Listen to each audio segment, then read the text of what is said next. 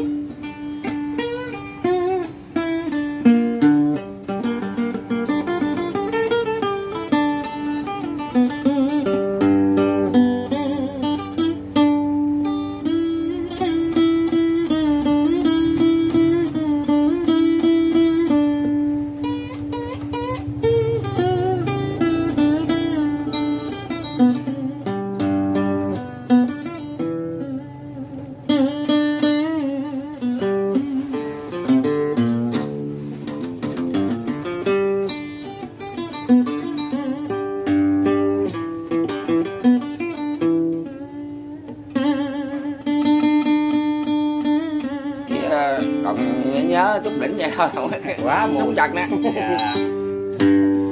Hay quá. Chú chú ghê hát được câu nào không?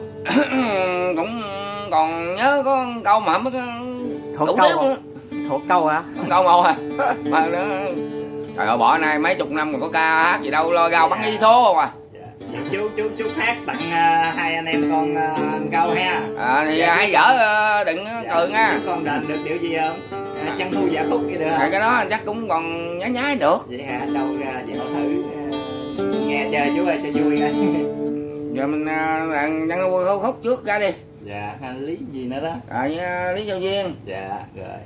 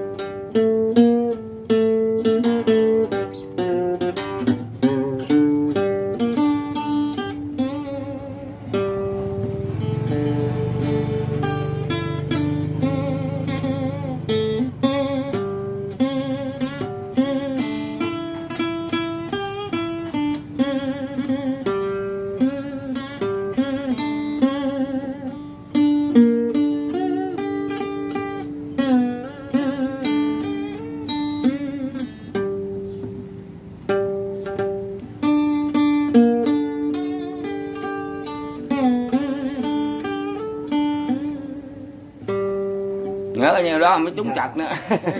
Nghèo quá. quá. đâu á không có trúng chặt nè quá mùi dạ chú nhớ nốt bóng được cũng hay ha. Mà trong mấy đường mà bóng được mấy cái nốt cũng được hay chứ. Lên câu giọng cổ đi. Trông chờ cái giọng hát của chú ghê. thì cũng ca nên là cho nó vậy chứ ờ, có chặt trúng gì cũng cô bác đừng đừng cười nha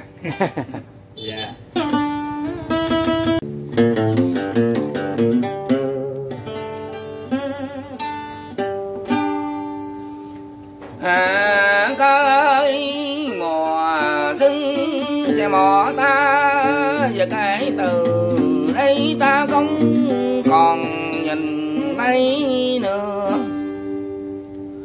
Mùa xuân năm nay dù mùa xuân còn chợt đến, những người chào đón xuân sang không được ước nhau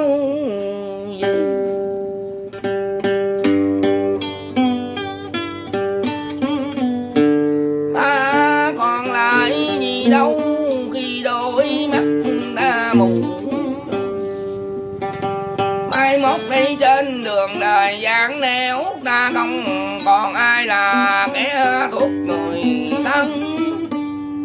Ta không nhà, không cửa, không chiếu, không chăn. Trên cuộc đời ta biến thành tên ăn này